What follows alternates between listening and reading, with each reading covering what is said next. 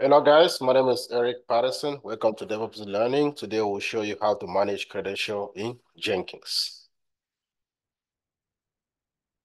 In Jenkins, there are two, there are, there are many type of credential and you have to know the type of credential that you want to manage. So it depends on the use case, for example, but to manage credential in Jenkins, um, you click here.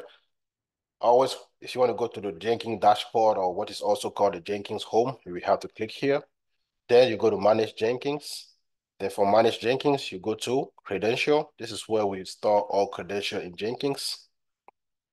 Here, and then you go to system here. Not these two at the bottom, the store scope system to Jen the store scope to, to Jenkins. Then you take the global credential here.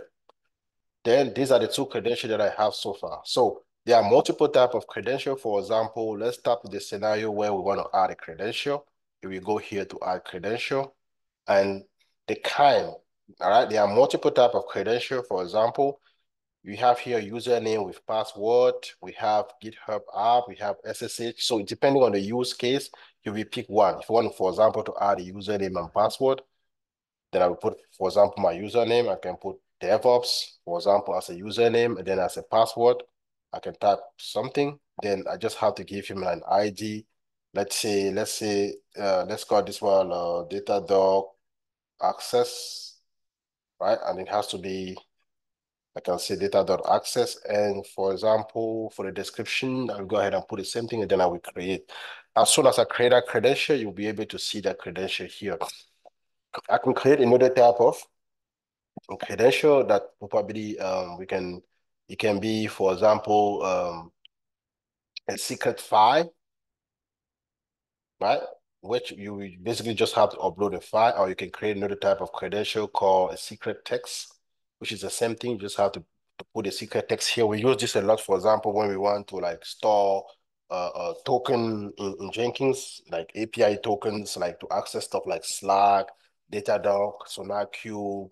Uh, we can we can put that here. So there are multiple type of multiple type of credential. For example, now you can delete the credential, you can manage that if you look at this uh, uh, uh, range, if you click here, it will give you a few options. You can either update the credential. One thing in Jenkins that as soon as you put the password in Jenkins, you cannot see it. You can change the password, but you won't be able to, to see it. So here you can delete that credential. We can even move that credential if you want. So if you want to manage the credentials easy, just have to go to dashboard, manage Jenkins. You go to credential, you go to system here, then you open the global credential, then you'll be able to add any credential uh, that you want here. I hope this video was really useful for you and see you in the next video. Thank you.